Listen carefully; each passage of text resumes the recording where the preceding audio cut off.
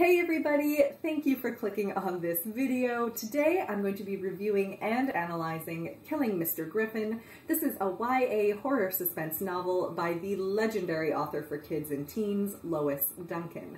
I'm going to do this video in a bit of a half and half format. So for the first half of the video, I'm going to do a straight up spoiler-free review of this book for you guys that haven't read it yet. I know this book came out in 1978, but who wants to be spoiled really? Nobody. Then, after the review, I'm going to be doing a brief analysis that will not be spoiler-free. So for those of you that don't want to be spoiled for this book, you can go ahead and pause the video after my initial review, or jump ahead to this time to see my related book and movie recommendations. After all of this, if you do decide to pick up Killing Mr. Griffin, come on back to this video and talk with me about evil children in horror stuff. Hydration is important, everyone. Killing Mr. Griffin is a YA novel published in 1978 by the great Lois Duncan.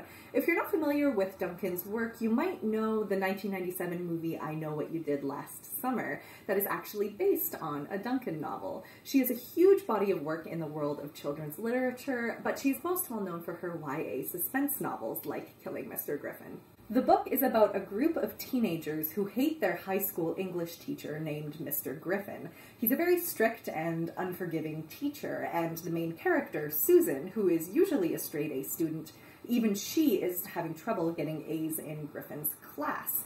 And she's also having trouble fitting in with her peers, so when she is approached by a group of her classmates, led by the strange and charismatic Mark Kinney, when they approach her and ask her if she wants to be part of a prank to teach Mr. Griffin a lesson by kidnapping him and making him fear for his life, Susan hesitantly says yes, and as you can imagine, the joke does not go as planned. Soon the group of teenagers find themselves in a pretty horrific situation. The text of this book has actually been edited by Duncan herself and modernized from the 1978 version.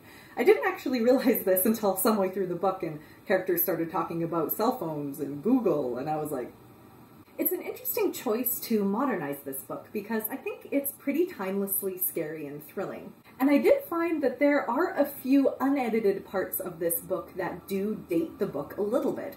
So the result is that dated elements, like teenagers saying things like, how do you do, and going to the diner to get a soda, that kind of thing, these dated elements exist alongside discussions of Google and cell phones and things like that it almost makes it seem like this book is taking place in kind of an alternate history where people had modern technology in the 70s.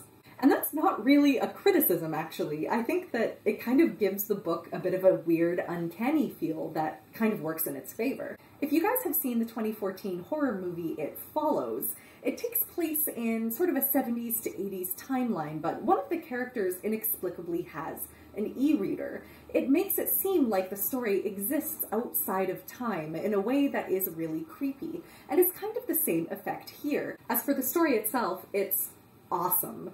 Duncan's writing is really, really great. It's clear, it's literary, her use of metaphor, foreshadowing, and irony is really top-notch here.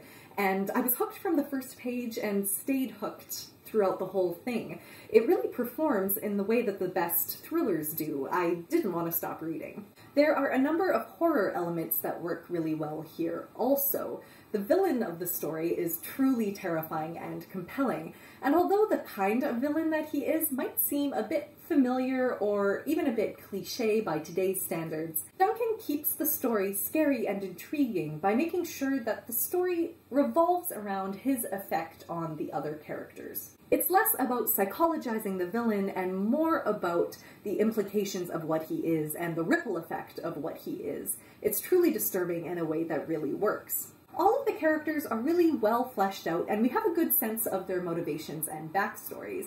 Everything seems really natural when it comes to dialogue and the way that the kids interact. And one of my favorite things about this book is that Duncan really nails what it's like to be an awkward kid in high school in the opening chapters. Susan does a few things that made the awkward high school kid in me go, oh, I've been there. Altogether, it's really just a well-crafted and carefully crafted book. My only dislike is that sometimes Susan, the main character, can be a little bit too naive. There were parts of this book where she made decisions that I felt were too illogical and a little bit frustrating for me as a reader. I felt that she should be more adept at understanding what she should do in that situation in order to keep herself safe. Honestly, in the grand scheme of things, it's a pretty small criticism and one that can probably be explained away by the fact that anyone in that situation would not be able to think straight and not be able to make logical decisions. Guys, pick this book up if you are at all into crime or thriller fiction, and generally if you just like YA. This is a, such a good read. It's compelling, it's gripping, it's rewarding as a reader.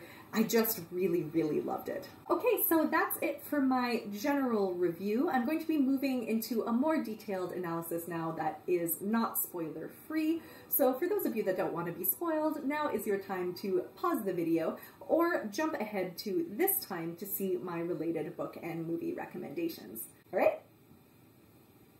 Cool.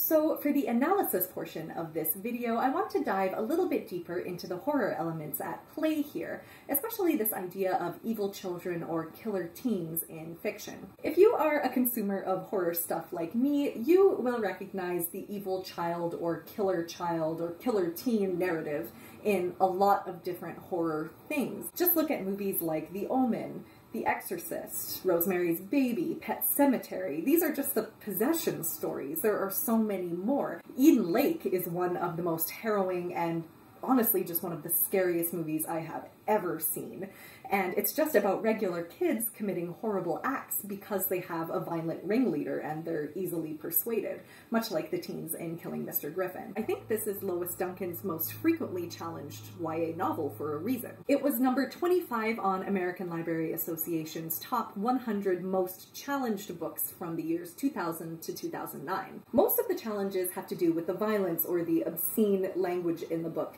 but I would bet that people's distaste for this book also stems from the fact that we don't like to think about kids committing horrible acts, and not only that, but having the will to justify those horrible acts over and over as if what they did was just totally okay. It makes for awesome horror fiction, but it also makes for controversial fiction, especially when targeted at teens.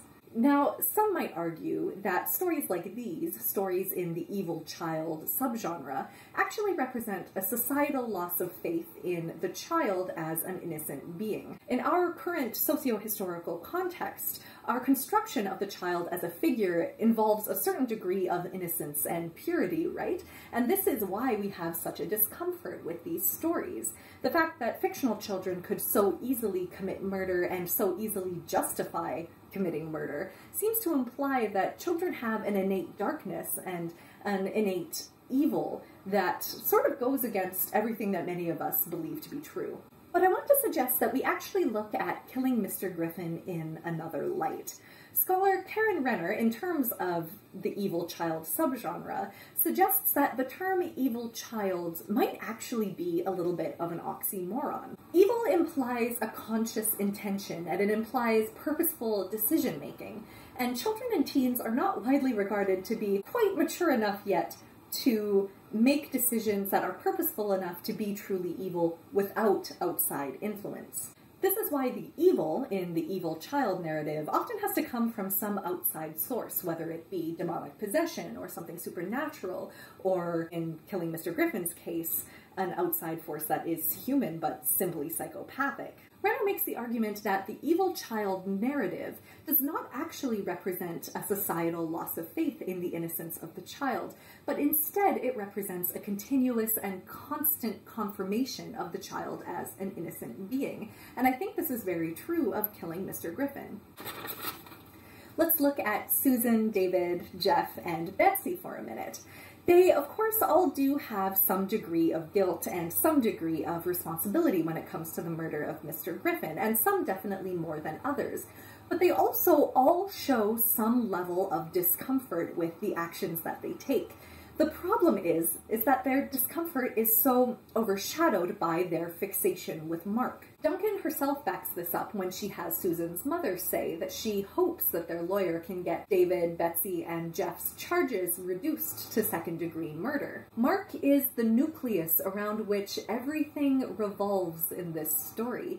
He is the reason that all of this happens. He is the essential evil that corrupts these teens. Killing Mr. Griffin actually confirms the childlike innocence of its teen characters by perpetuating the idea that outside evil must unequivocally be present in order to make children do evil things. And as for Mark, he is of course something totally other. He is a portrait of the magnetic psychopath, right? It doesn't really matter if he is a child or an adult, it would all be the same. He just wants to be an agent of chaos and to harm and kill other living things. One of my favorite things about this book is that we see Mark from almost every other character's point of view, and in every one he seems a bit different. He means something different for each one of these teens, essentially wearing all of these different faces and weaving this complex tapestry of manipulation.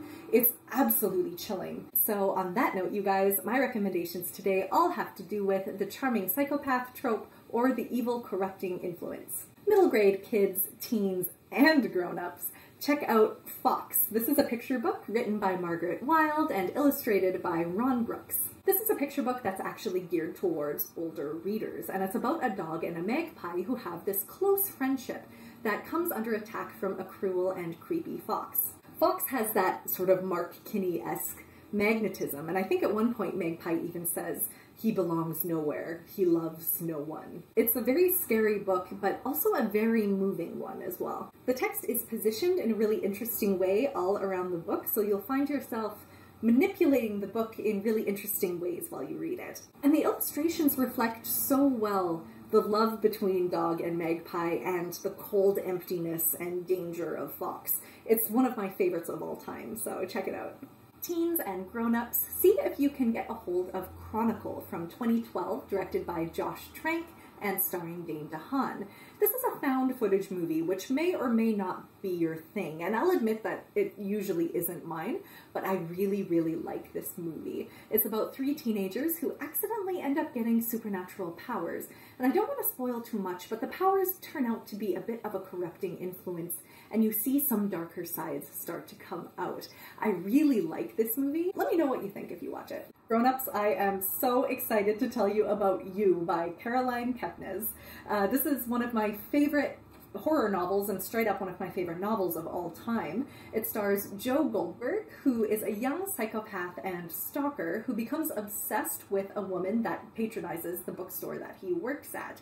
The book follows him as he meticulously gets closer and closer to her, but the twist is that the book is actually written in second person. So the whole thing is stream of consciousness straight from Joe's brain and directed at the person that he is obsessed with. The result is insane. I was looking over my shoulder, honestly, for two days after reading this book. I just felt like Joe Goldberg was everywhere. He is so immersive and his thoughts are so disturbingly charming and magnetic. He is another great portrait of a magnetic psychopath. I guess you just have to read it to sort of get the idea. So like, stop listening to me, go out, get it from your library or whatever. It's an amazing, amazing book. I would like, I can't recommend it enough. Alright guys, that's it for my review and my analysis today. Thank you so much for watching. I'd love to talk with you guys about this topic of killer kids in horror fiction. I find it to be fascinating. So yeah, go ahead and leave a comment and if you want to see more of me on here, go ahead and like the video and subscribe too. Uh, yeah. Alright guys, hope you have a good night and see you later. Bye.